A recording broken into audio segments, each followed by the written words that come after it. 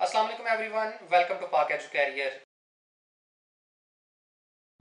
dear students आज की video के ज़रिए आप सबकी तवज्जो एक ऐसी बात की तरफ़ लेके जाना चाहता हूँ, जिसके बारे में शायद अभी बहुत कम लोग सोच रहे होंगे, और वो है मेडिकल एंटी टेस्ट की तारीख।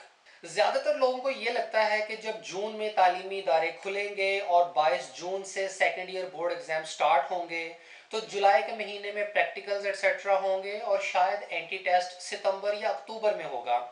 क्योंकि बोर्ड एग्ज़ाम्स दो माह लेट हो रहे हैं, इसलिए बाकी तमाम काम जैसे कि यूनिवर्सिटीज़ के एडमिशन्स बोर्ड एग्ज़ाम्स के रिजल्ट्स और एंटी टेस्ट भी दो माह लेट ही होंगे।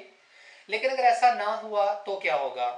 अगर एंटी टेस्ट सितंबर या अक्टूबर में जाने के बजाय अपने उसी टाइम पे, यानी अगस्त में ही हो गया तो एंटी टेस्ट की तैयारी कैसे होगी? हमने माजी में भी बारहा इस बात का मुशाहिदा किया है कि मेडिकल एंटी टेस्ट की पॉलिसीज़ और टेस्ट कंडक्शन का स्केजुअल बार बार तब्दील होता रहा और मेडिकल स्टूडेंट्स के ऊपर हर साल नित नए तजुर्बात किए गए। इसका अंदाज़ा आप इस बात से लगा लें कि 2019 के एमबीबीएस और बीडीएस एडमिशन्स का मामला अभी तक फंसा हुआ है।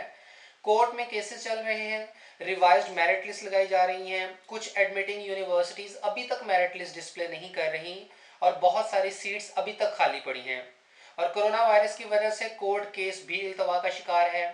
यानी इस बात की कोई गारंटी नहीं है कि 2020 में मुल्क भर के मेडिकल और डेंटल कॉलेजेस में एडमिशन पॉलिसीज़ क्या होती हैं और ख़ास तौर पर यह कि एंटी टेस्ट कब मुनद किए जाते हैं।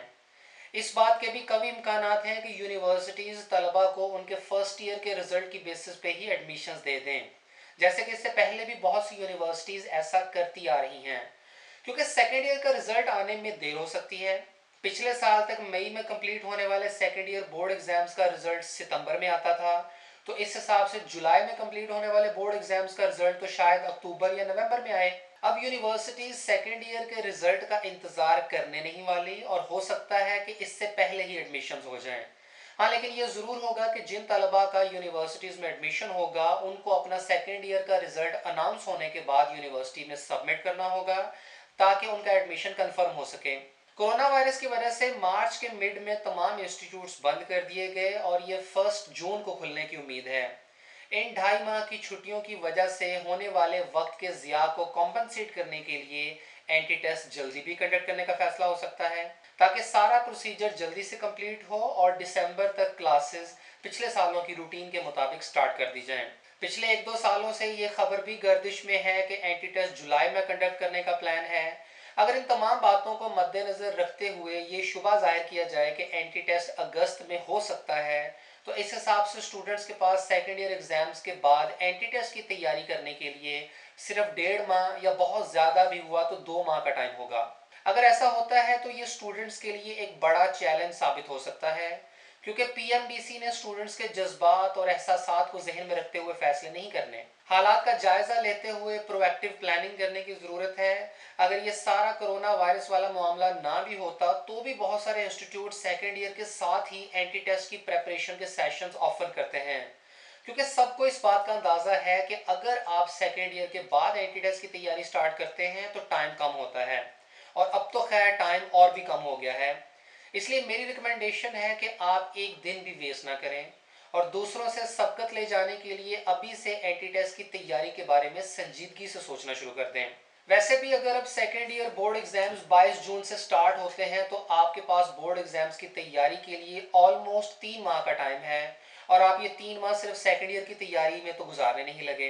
आप इससे कम वक्त में तैयारी कर सकते हैं। बहुत सारे ऐसे भी स्टूडेंट्स होंगे, खासतौर पर इम्प्रूवर जो साथ साथ छुट्टियों में एंटी टेस्ट की प्रेपरेशन कर रहे होंगे। इसलिए आप अपने टाइम को डिवाइड करें और सेकेंड ईयर के साथ साथ घर बैठे एंटी टेस्ट की भी तैयारी करें। क्योंकि आपने ना तो कॉलेज जाना होता है और घर से बाहर भी बहुत कम ही निकलना होता है। लिहाजा आप इस वक्त का बेहतरीन इस्तेमाल करें। इन इस तरह आप सिक्योर हो जाएँगे और अगर एंटी टेस्ट अचानक से थोड़े टाइम मार्जिन के साथ अनाउंस भी हो जाता है तो आप उसके लिए पूरी तरह से तैयार होंगे। अब नेक्स्ट क्वेश्चन ये पैदा होता है कि घर बैठे एंटी टेस्ट की तैयारी कैसे की जाए। तो उसके लिए वैसे तो काफ़ी इंस्टीट्यूट्स ऑनलाइन सेशंस ऑफ़र कर रहे हैं, लेकिन मैं आपको नियर पियर का रिकमेंड करूँगा, जो कि पाकिस्तान का best online entry test preparatory institution है। इसके एम सेशन की फ़ी वैसे तो बारह हज़ार रुपये है, लेकिन आप हमारे चैनल पाक एजू कैरियर के रेफरेंस से पंद्रह सौ रुपये का डिस्काउंट हासिल कर सकते हैं और आपके लिए फ़ीस सिर्फ़ दस हज़ार पाँच सौ रुपये होगी। ये सेशन एम डी कैट के दिन तक आपकी हेल्प करेगा। नियर पियर के ऑनलाइन सेशन से मुतालिक डिटेल्ड वीडियो का लिंक डिस्क्रिप्शन में दिया हुआ है। आप अच्छी तरह से नियर पियर के पूरे सिस्टम को देखें एनालाइज करें और उसके बाद ज्वाइन करें। इनशाला इससे आपको आपके डिज़ायर्ड रिज़ल्ट ज़रूर मिलेंगे। दुआ है कि अल्लाह पाक आपको कामयाबी अता फरमाए। अगर आपको इससे मुतल कोई भी फर्दर इन्फॉर्मेशन रिक्वायर्ड हो तो आप कमेंट्स में पूछ सकते हैं। अगर वीडियो पसंद आई हो तो इसे लाइक और दूसरों के साथ शेयर करें। हमारे चैनल को सब्सक्राइब ज़रूर करें और लेटेस्ट अपडेट्स के लिए हमारी वेबसाइट विज़िट करते रहें।